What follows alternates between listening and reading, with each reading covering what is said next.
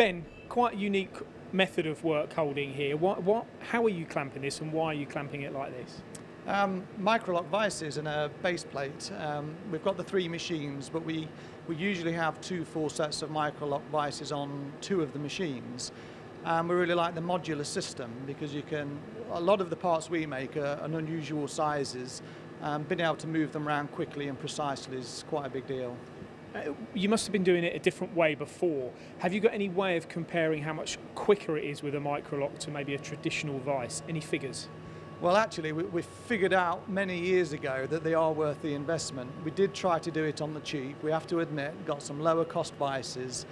Um, the, to the tolerances just weren't there. You'd spend so long clocking something up, and then you tighten the vice and it'll lift slightly on one side.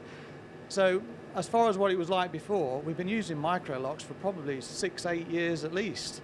Um, so I can't really compare um, how much better it was, only that we learned a lesson first time around. So it works? Yeah, it does work.